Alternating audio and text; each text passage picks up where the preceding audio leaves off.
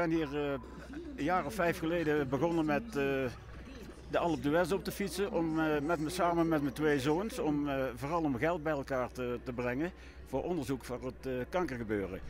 Ik heb twee keer meegedaan en de derde keer heb ik ook meegedaan. Maar toen was mijn vrouw ziek. En ja, daar heb ik het natuurlijk ook voor gedaan. En ja, twee weken nadat we hier gefietst hebben, is ze overleden. En ik heb een jaar erop heb ik mijn eh, huidige partner In eh, heb ik ontmoet.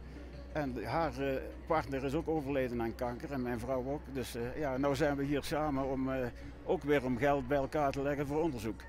Om zoveel mogelijk geld erbij te hebben, want dat is heel belangrijk.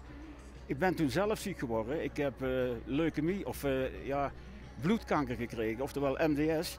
En daar ben ik in behandeling geweest, anderhalf jaar. En ik ben nu ja, zover genezen dat ik weer kan fietsen. En ik wil dit jaar wil ik, ter afsluiting wil ik dit doen uit dankbaarheid en ook weer om geld bij elkaar te krijgen voor verder onderzoek, ook, ook andere mensen te kunnen helpen.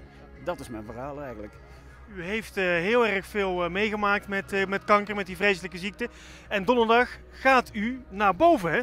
Ja, ik wil proberen om één keer, want meer dat gaat me niet lukken, om één keer nog hier boven te komen. Al moet ik het laatste stuk lopen, dat kan me niet schelen, maar ik wil boven komen. Dan alleen uit dankbaarheid en ook voor mezelf, dat ik, eh, ter afsluiting, dat ik, eh, ja, dat ik weer zover ben. Dat, dat gaat lukken, hoop ik, hoop ik.